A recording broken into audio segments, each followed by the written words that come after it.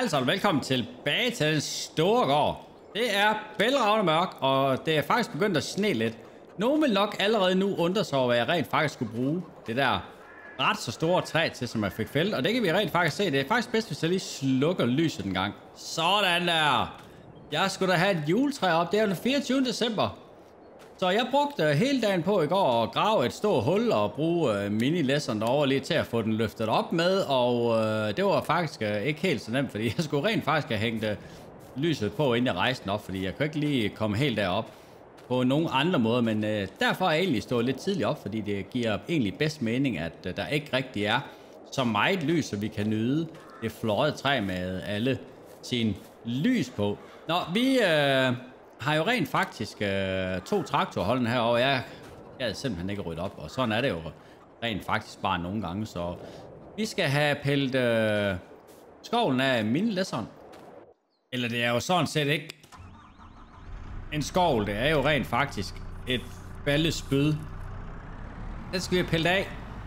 Fordi vi skal øh, ned til forhandleren og øh, hente en, en trækrab han øh, skal til at forhandle nogle nye redskaber til øh, frontlæsser.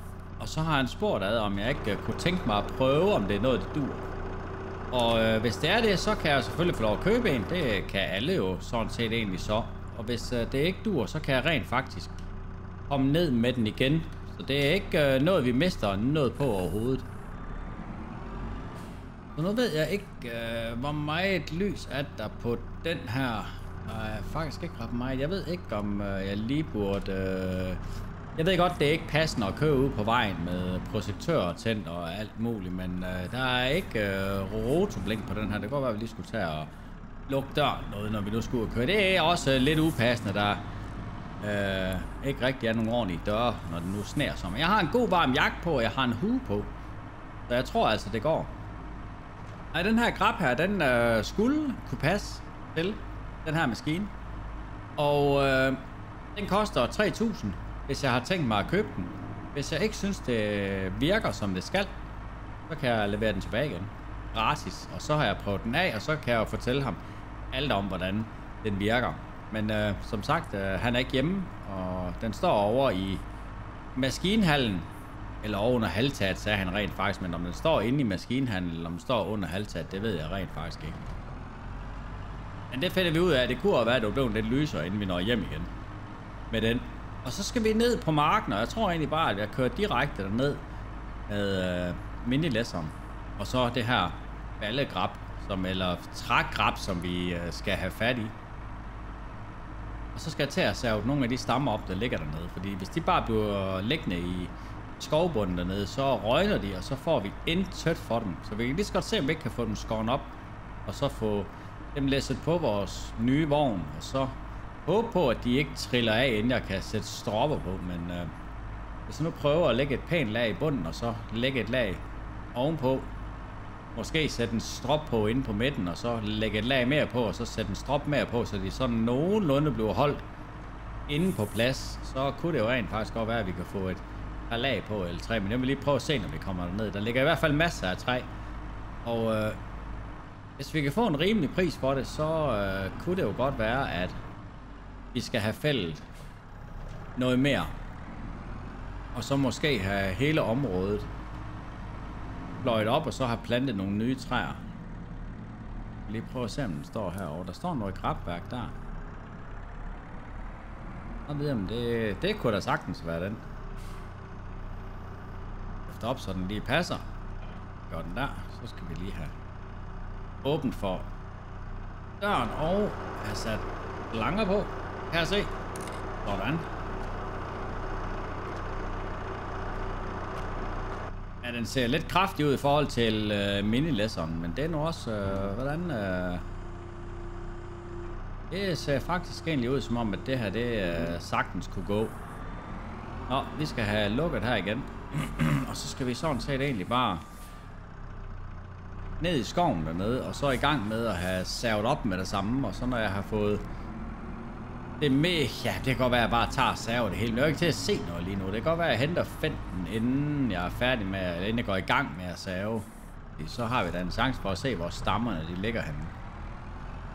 Og jeg drøner lige derned, og så må vi øh, i gang med at save, hvis der er blevet så lyst, at vi kan se noget, ellers så må jeg lige hjem og hente venten, så burde der i hvert fald være så lyst, at øh, det er mulighed for at finde ud af, hvor stammerne de ligger. Så skal vi have åbent døren. Vi skal have slukket. Ja, jeg kan ikke godt øh, slukke for alt lyset, det tror jeg. Jeg tror egentlig måske, at der er lyst nok ude nu til, at vi rent faktisk kan øh, komme i gang. Og det hele det er jo afgren. Nu øh, har jeg selvfølgelig valgt den koldeste dag på hele året at rende ned og lave skovarbejde. Øh, det må vi lige prøve at... Ja, jeg har jo ikke rigtig nogen idé om, hvor lang min vogn den er, men vi kan lige prøve, og må ikke, at øh, den her længde her vil passe så nogenlunde. Det tror jeg. Det bliver nok slet ikke lige lange, men det er der egentlig lidt lige meget, tror jeg.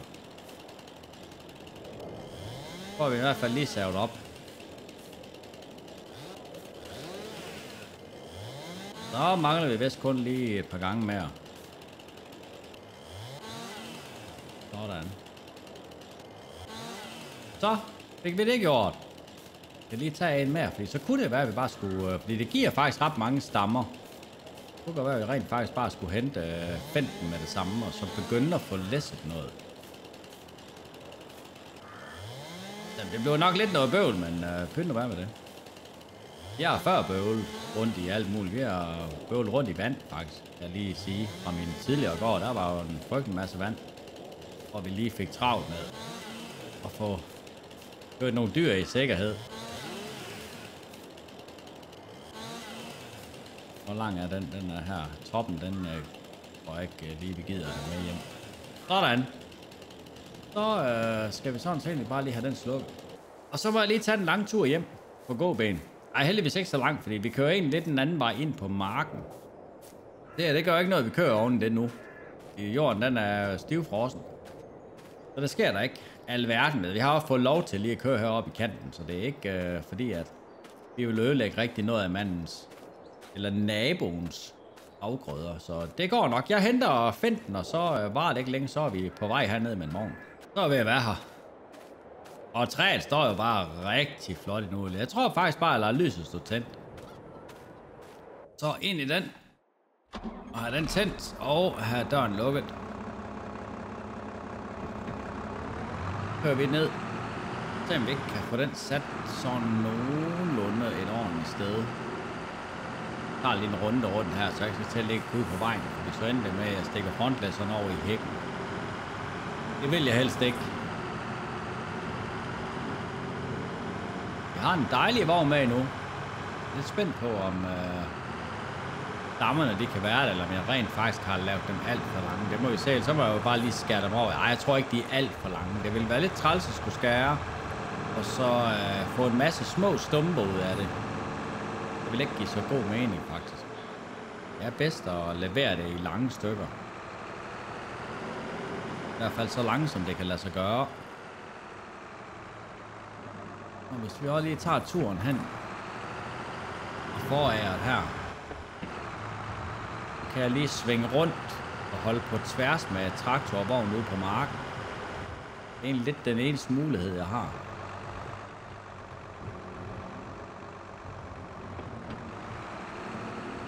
Den der og den derovre. Jeg kan jo sådan set egentlig... Står der... Nej, der står ingen træer her. Nu lige dreje ind her.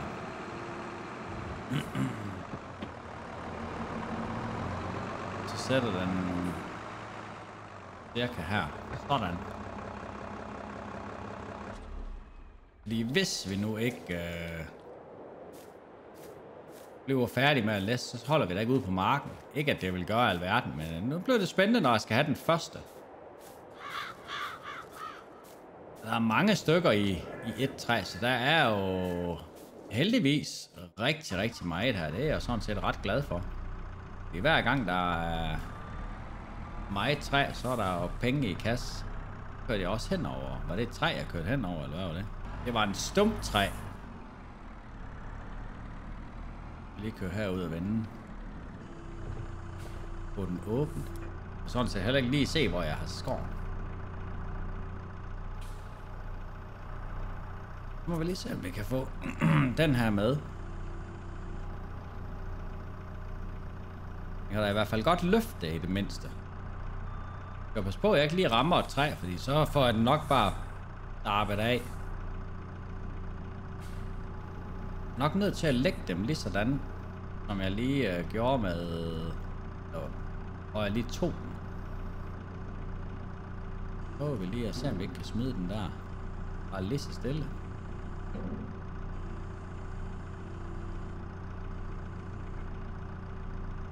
Så.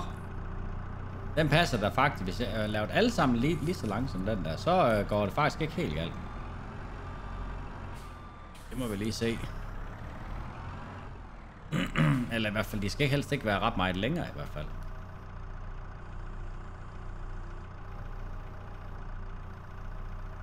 Og nummer to. Der er mange. Den bliver nok en lille smule værre, fordi der er nødt til at læse den af. Det går fint.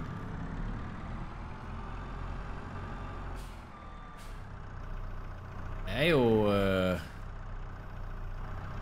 rent faktisk til øh, mange gange her.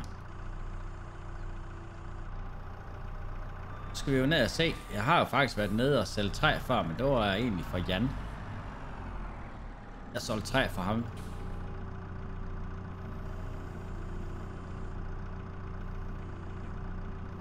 Så lige prøve at skubbe dem lidt over. Min plan er jo rent faktisk at se, om jeg ikke kan få dem sådan nogenlunde lagt i en, i en pæn række Værs over. Hvordan skal nu lige tage den der. Den ligger jo lige nøjagtigt inde bag ved en stamme. Og træ, det gør den der sådan set også. Ah, det går. Den er jo bare super manøvredygtig, den her lille mini-læs. det her, det går faktisk meget, meget nemmere, end jeg havde håbet på.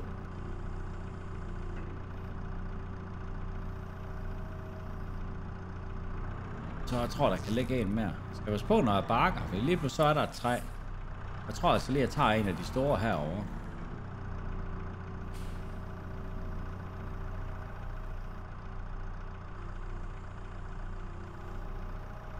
Lige til at lægge ud i kanten. Og så bare kan få det lag her på, og så et mere. Tror jeg, hvis vi skal være yderst tilfredse.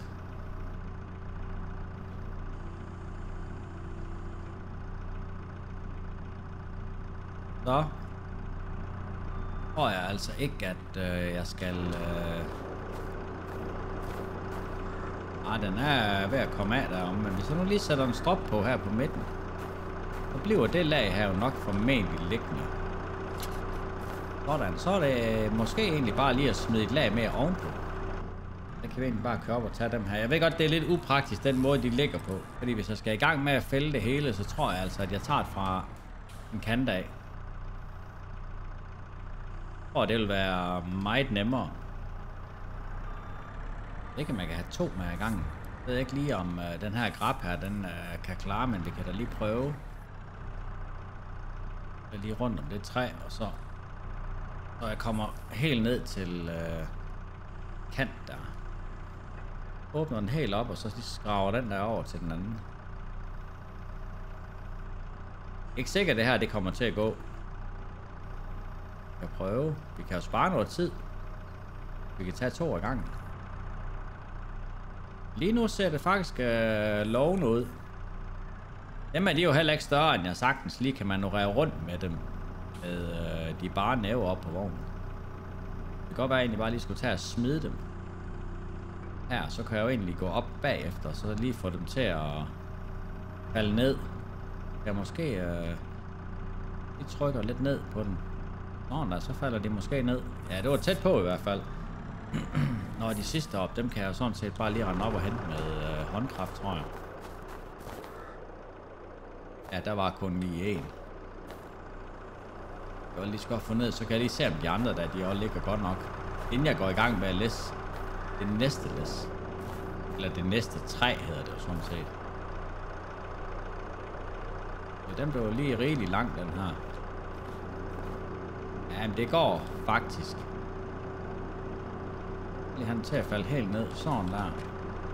Dem her, det skal lige ned, så de ligger nede sådan. Og så kan jeg lægge en om på den anden side, og så er det egentlig bare lige at lægge nogle stykker op over.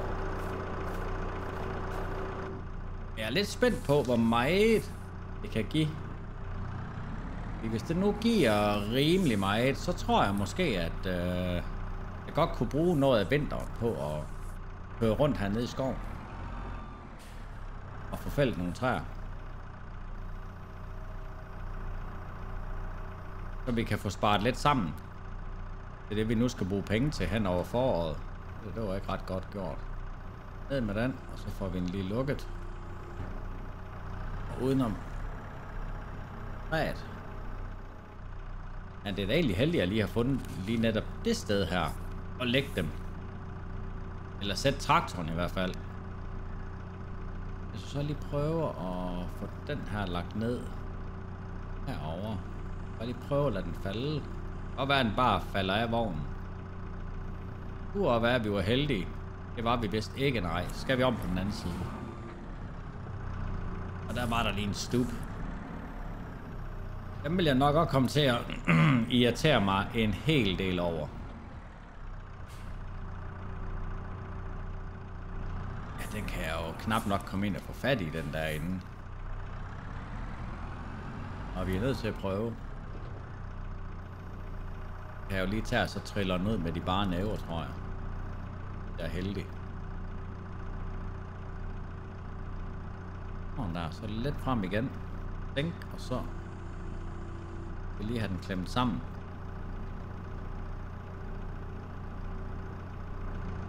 Jeg er spændt på, om den bliver der. Den var faktisk at lægge den lige her.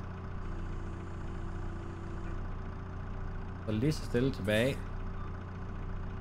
Den blev. Den blev der. Det var godt. Så er vi da i gang med uh, træ nummer to. Burde måske bare... Tænk, vi tager dem alle sammen. Og så starte fra en ende af. Det gør det hele meget nemmere. Nu tager vi lige det her, vi har fældet. Og får det læsset. Fordi, uh, wow. Det er godt nok glat herinde. Men selvfølgelig med alt det, der ligger i bunden af skoven, og så øh, sne og alt muligt, så skal det jo sådan set egentlig også blive glat. Lige se, om vi lige kan få den fyret ned der.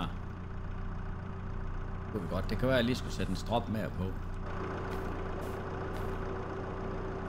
Gør vi sætter en på der. Hvad har vi så af plads? Der har vi et stort hul herinde på midten. Det skal vi i hvert fald lige have fyldt ud.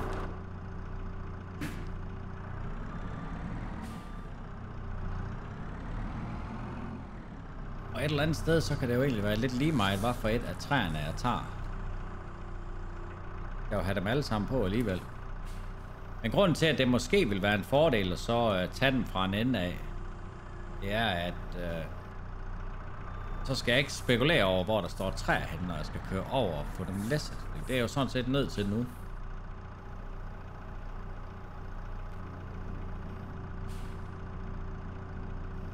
Så den er vi nødt til bare lige at lægge her et sted. Den røg ned i det hul, den skulle. Hvis vi så lige kan få to mere derned. Så må vi se, om det her det ikke er nok. Så ved jeg godt, at så har vi... Ej, vi, vi skal simpelthen have to træer med. Vi er nødt til at presse citronen så meget. Men nu, de er ikke så tunge, de der. Så nu lige øh, bakker lidt, og så lige fjerner krabben derude, så jeg ikke slår hovedet. Men så ikke lige, jeg kan trække den her hen. Det kan jeg kan det, men jeg kan da prøve. De ligger ved siden af hinanden. Og det tager to af gangen. Sådan da, vi prøver det der.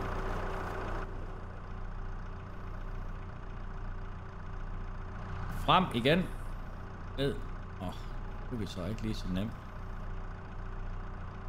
Sådan der. Glem. Nej, den vil faktisk helst ikke. Lidt chipper den derude af. Hvad så? Så vil den faktisk helst godt. Og så lige helt tilbage. af grabben. Så hvis at der sker noget, så burde de jo rent faktisk falde ned i grabben, eller den yderste. Det er sådan set den, der skulle være mest nervøs for.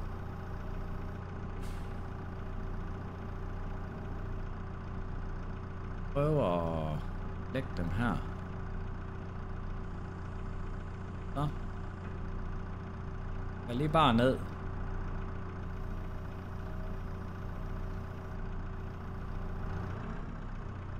Sådan.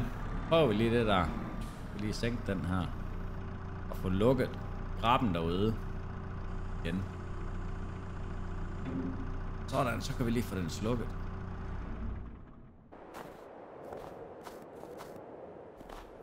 Ja, det, jeg tror ikke på, at det kan lade sig gøre, at læse det ret meget bedre med øh, de muligheder, jeg lige har. Vi kan lige så godt få det spændt ordentligt fast. Sådan så skal vi hjem med det.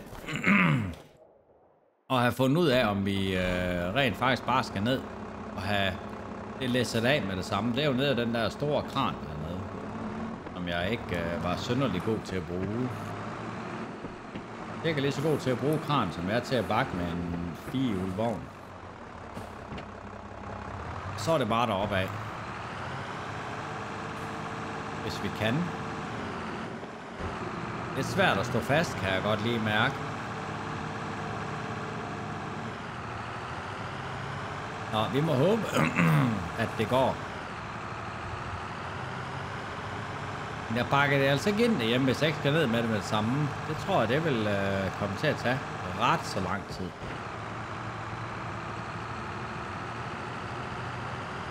Nu vil lige køre op igennem foråret igen. Nu er jo lige før, man ikke kan se, hvad der er mark, og hvad der ikke er mark herude ved kant. Og øh, tæt op ad træerne, der er ikke mark. Men øh, vi må ikke håbe, der sker noget med marken. Så må vi jo lige tale med naboen om det, hvad vi lige kan gøre. Og synes du, det er en god idé at få træerne væk fra skovbunden af. Så de ikke bare er rådent op til forår. Men mindre det giver hård frost hele vinteren, fordi så røgner det jo faktisk ikke op. Ikke så nemt i hvert fald. De er våde og klamme, men øh, de rådner ikke så hurtigt om vinteren. Det er i hvert fald min erfaring. Men hvis de ligger i en våd og klam skovbund hele sommeren. Men lige rundt her. Dyrene kræver faktisk ikke øh, rigtig noget opmærksomhed i dag. Og det kan være, at jeg skulle lukke ind til mælken derovre. Det var måske den opmærksomhed, det lige krævede.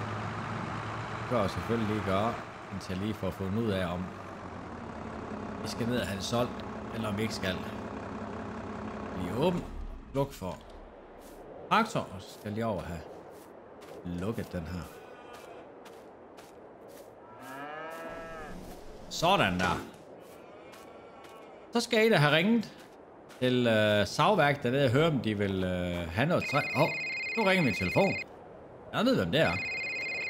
Det er Robert. Det er Jan. Ej, Jan. Det var super dejligt at høre fra dig. Hvad der, jeg har ikke øh, hverken hørt nogen verdens ting, øh, siden du kom på sygehuset. Der er ingen, der giver en besked om nogen ting. Super dejligt, at du ringer. Hvordan går det? Ja, det går jo ikke så godt, du. Jeg ligger jo stadigvæk på sygehuset. Øh, ja, jeg har jo brækket højre ben og fået noget brud på min venstre underarm, og så er de ved at undersøge lidt med min nakke. Der er noget med min nakkevivler, der ikke er så godt som... Ja, jeg ved ikke så meget om det endnu. De vil ikke rigtig sige noget, de læger der. Nå, jamen, øh, Øh, du er men nu da... er jeg trods alt vågnet, kan man sige. Ja, Jeg har ja. åbenbart været væk i lang tid, og jeg ved jo ikke rigtig, hvad der er sket her. Nej, men jeg har jo snakket med sygehuset nogle gange, og, og der, har, øh, der har de ikke kunne komme i kontakt med dig. Øh, så, men, men, men jeg ved jo sådan set godt, hvad der er sket. Nå. Jamen, altså, jeg kan... Jeg, altså, der er slet ikke noget, der ringer på første her. Nej, men, men vi kørte op. Jeg ved ikke, hvor meget, om du kan huske, at vi øh, hver især har været op på en auktion, og du har købt øh, maskinen til en af dine kammerater, og jeg havde købt nogle ting derop. Det ved jeg ikke, om du kan huske.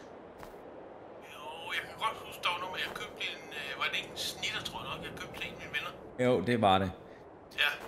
Og så lavede jeg en aftale med forhandleren om, at øh, jeg kunne hente resten af hans maskiner derop, fordi så kunne vi jo gøre hinanden tjeneste.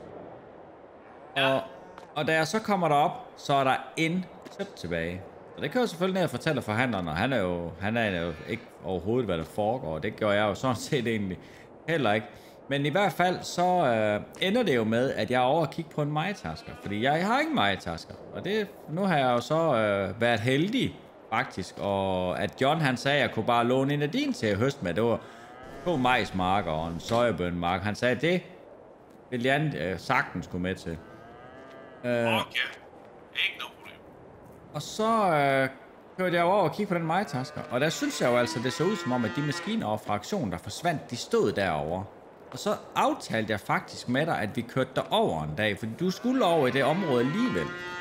Og så kørte vi derover i hver vores traktor, og så gik vi rundt og kiggede og blev enige om, at det kan kun være de maskiner. Men det kan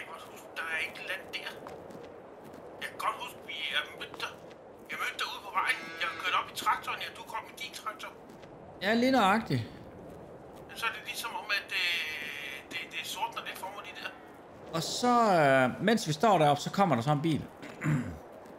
Okay. Og den stopper. Og der går så en over i en af bygningerne. Måske en af dem, der har noget med det at gøre.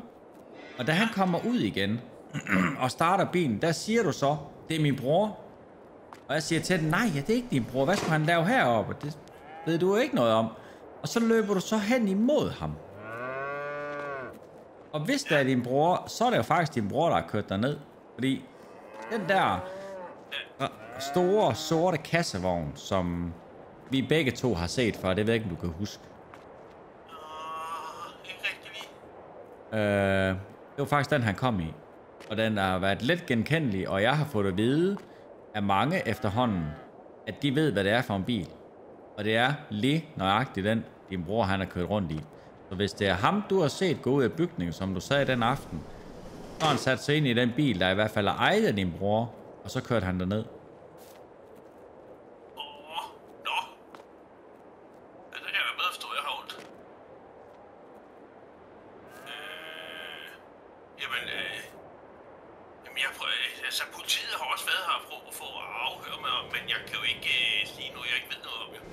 Nej, nej, Øh, for de spurgte jo, hvad der var sket.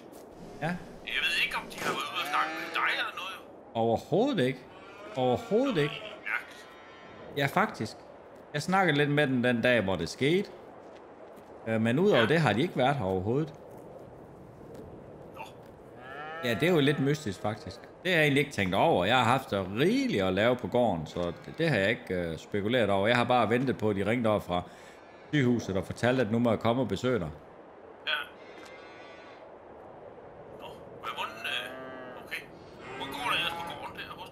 Det, går øh, faktisk rigtig fint. Jeg mangler stadigvæk mig tasker. Og det har du ikke fået købt endnu. Nej, det har jeg ikke, fordi at jeg var nede ved forhandleren, og jamen, det han kan finde, det er for dyrt. Det er for dyrt, og, og det, jeg synes også, det er for stort.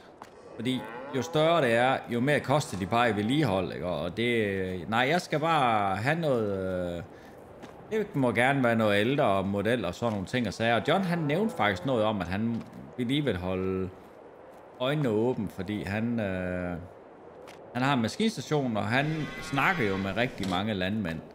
Så øh, det kunne jo være, at han ringede en dag. Men nu er det så vinter, så chancen for at købe en majtaske er måske lille om vinteren, fordi der er de jo gerne pakket væk. Ja, det er jo det. Men man kan så også sige, så er det måske lidt billigere om vinteren, hvis du har. Det burde det måske være, så øh, det er egentlig, jeg startet med. Øh, lige nu det er, jeg har lige været nede og fælde nogle træer.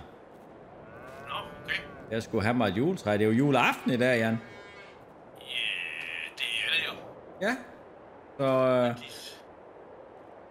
og så, har jeg, så har jeg fået mig en ny øh, vogn. Nej, det har jeg faktisk ikke. Jeg har den faktisk kun på prøve, men jeg tror faktisk, jeg kører ned og køber den. Og så bytter jeg den væk med den der gamle øh, blå ladvogn, jeg havde. Ja, der, kan ikke ligge, der kan ikke ligge så mange stammer på, så jeg kommer til at skal køre mange gange frem og tilbage. Lidt træls, men altså, det må jeg jo bare gøre, jeg synes ikke, jeg vil gå ud og bruge ved mange tusind på at få øh, en ordentlig trævogn. Men du kunne jo bare køre ned og tage min øh, vogn til der, den der, jeg har til, hvad hedder det, stammer. Åh, ja, den brugte jeg da selv nede ved dig. bare køre ned den? Jeg står ikke lige frem, du skal bruge noget lige nu her. Nå, okay, jamen det, øh, det tror jeg, det er, vil gøre. Men skal du også, øh, jeg har jo også en, øh, hvad hedder det, en stugfræser, hvis det var noget. Nå, Den står også dernede jo. nå, ja, det kunne da... sa- Jamen, det vil da være helt perfekt. Altså, Fordi- så kan du, det kan du bare hente det betyder ikke noget. Åh, super godt, super godt, Jan. Super godt. Øh, fordi så kan jeg også øh, sige det til John, fordi øh, John ham ringer til i morgen, men frem skal jeg også lige have snakket med. Ja, ja. Øh, det er jo altså kun lige, øh, hvad hedder det, øh, nogle dage siden, at det ligesom kom lidt til hægterne selv her. Ja, ja, ja, ja. Så, men jeg ved godt, at øh, eller, jeg, fandt, jeg snakkede med ham den anden dag, og øh, han var gået derned for at, ligesom at hjælpe til at se til dyrene også og sådan noget. Og det Ja. gjorde han jo altså selv, fordi han er en god ven, ikke også? Så der er ikke noget der. Ah, ja, ja, ja, for jeg, jeg var jo nede og lave det, jeg nu lige synes, der skulle lave. Så kom han der og sagde, det skulle jeg slet ikke spekulere på. Han har ikke så meget at lave her om vinteren på maskinstationen, så øh, det kunne han sagtens klare. Ja. Men altså, som det sagerne ser ud lige nu, så ved jeg ikke, hvornår jeg kommer øh, op af den her sygeseng her. Fordi Nej. jeg må ikke... Øh, ja, jeg må slet ikke rejse mig. Jeg ligger bare og ligger hele tiden. Ja, Øh, fordi lige så snart jeg bevæger mig, så har jeg noget med min, øh, min nakkevivler, der går ud. Så det Ja. er virkelig... Ja, om jeg overhovedet kommer ud til landbruget igen, det aner jeg jo ikke. Ej, det håber vi da. Ja, det Ah. er jo mit livsværk at komme ud til det landbrug der. Ja, du har da en stor gård dernede. Ja, Nå, jamen, øh, det kan være, at jeg skulle prøve at høre, om jeg må komme op og på besøg på sygehuset. Jeg ved ikke, hvordan det ser ud. det tror jeg godt, du må. Jeg vil lige har prøve. jo selvfølgelig deres øh, besøgstid. ja. Ja, ja, ja, men det kan jeg jo selvfølgelig lige prøve at undersøge, jo. Ja, hvordan det lige ser ud. ja. Ja. Nå, men øh, det var da super dejligt, at du ringede, Jan. Det er den bedste ju- julegave, jeg har fået. Det var da dejligt. Jeg skulle også lige høre, hvordan det gik, og sådan Ja. nogle ting der. Ja, ja, Men ja, ja. øh, det er da ligesom rart for mig lige at få at vide, hvad det er, der er sket nu. Ja, Også fordi jeg ved, at øh, politiet kommer op for at skal afhøre mig igen, nemlig. ja. Og så kan jeg jo ligesom fortælle lidt om, hvad der er sket, jo. Ja, eller send dem herned til mig. Ja, for eksempel jo. Ja, så kunne jeg da... Selvfølgelig også gøre, men det er da underligt, at de ikke har været dernede. Ja, det er det faktisk. Det er det. Ja, der kan man jo godt se. Men jeg tænkte jo, nu havde jeg jo fortalt dem den aften, der hvad jeg, jeg troede, det var for en bil, ikke? og jeg var ikke sikker, så derfor spurgte jeg jo rigtig mange af dem, som øh, sidder og kigger med, øh, når jeg laver det her. Så øh, de, de fortalte, de vidste. Jeg tænker, om de kommer vel herop, så kan de jo få at vide, hvad det er for en bil. Ja, Men det er det ikke værd. Men jeg, jeg, jeg har heller slet ikke tænkt over det, faktisk. Jo, jeg har tænkt meget over, at du har lagt det op, men jeg har overhovedet ikke tænkt over, om de er i gang med at finde ud af, hvad der er sket, og alle sådan nogle forskellige ting. Det kan være, jeg skulle prøve at køre derover, hvor de maskiner, de var. Ja, det kunne da godt være. Se, om der er sket noget over, måske. Det tror jeg, der er gør en dag. Ja. Det er rigtigt. Ja, det var da måske en god idé, kan jeg gøre her i vinter, hvor der alligevel ikke er så meget. Ja. Se om der er nogen. Ja. Nå, det er ikke, fordi jeg ikke gider snakke med dig, men nu kommer sygeplejersken. Jeg skal have nogle piller nemlig, så... Det er bare helt i orden, Jan, men super dejligt at... Ja, ja. Super dejligt at høre fra dig, Jan. Det var, som jeg sagde, det var den bedste julegave, jeg har fået, så øh, mega dejligt. Vi øh, talte i hvert fald ved, så prøver jeg at se, om jeg ikke lige kommer op og se til dig en dag. Ja. Ja. ja. Men øh, have det godt. Tak og lige måde, Jan. Tak, tak. Hej hej. Hej. Det var da alligevel den bedste julegave, jeg kunne tænke mig. At Jan virkelig ringede og fortalte, at han efter omstændighederne egentlig havde det ret godt. Men øh, alligevel så var det jo ikke ret godt. Men jeg er mega, mega meget lettet over, at øh, Jan han er vågen, og at han har taget sig sammen til at ringe til sin gode ven og få at vide, hvad der i virkeligheden er sket, fordi det kan han overhovedet ikke huske. Han kan huske noget med aktionen, og det, jamen, vi hørte jo det hele. Han kan ikke huske, hvad der er sket overhovedet, minutterne for inden og øh, indtil nu. Det er lang, lang tid, Han, har, han vidste slet ikke, det var juleaften. Øh, men jeg er mega meget glad. Nu, øh, min næste opgave, den er at gå ind og glæde mig over, at øh, Jan han har ringet. Og øh, det er en julegave, jeg ikke kan pakke op. Den pakker jeg op ved at trykke på den grønne knap på min telefon. Jeg er super glad for. Og øh, så vil jeg lige have ringet til øh, savværker, du hørt ad, om øh, de kan tage så et læs der, eller hvor meget de i virkeligheden har lyst til at få. Fordi så kunne jeg jo gå ned og få fældet nogle flere træer og øh, få dem kørt derned. Der går nok mange gange, jeg skal køre, men øh, nu øh, nævnte Jan jo, at han rent faktisk havde en gravovn, og det vidste jeg jo egentlig godt, han havde. Men øh, jeg kører jo ikke bare ned og henter, men han øh, gav mig grøn lys for at køre ned og låne den. Og øh, der kan der i hvert fald ligge afskillige træer i, i forhold til min, så det er jeg mega meget glad for. Hvis jeg skal have stuberne fjernet dernede, så kunne jeg jo sådan set også låne hans stubfræser, så det er også noget, jeg er super, super glad for. Men det er snart kaffetid. Det er tidligere slut en dag, men jeg skal lige have ringet til øh, tagværket, og så vil jeg læne mig tilbage med en kop kaffe og glæde mig over, at min gode ven Jan, han rent faktisk er vågnet op. Så det er dejligt. Så øh, dejlig julegave at få, selvom der ikke var sløje for bånd på, men det er lige meget. Og med det vil jeg jo selvfølgelig sige tusind tak, fordi I så med. Tusind tak for i dag. Vi ses i næste episode. Hej så længe.